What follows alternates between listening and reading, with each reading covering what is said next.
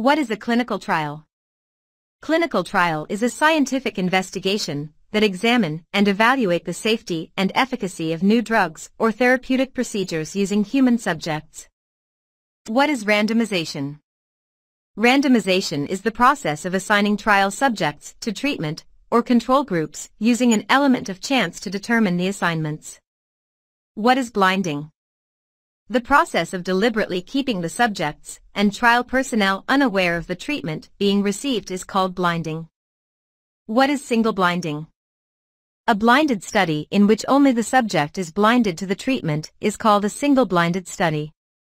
What is double blinding? A blinded study in which both the subject and investigator are blinded to the treatment is called a double-blinded study. What do we mean by an open-label clinical trial? An open-label clinical trial is the one in which both the subject and trial personnel are aware of the treatment being administered. What is a parallel arm study?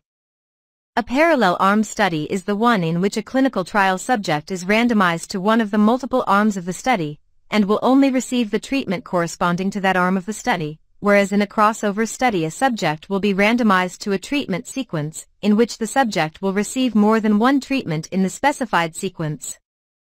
What is a crossover study?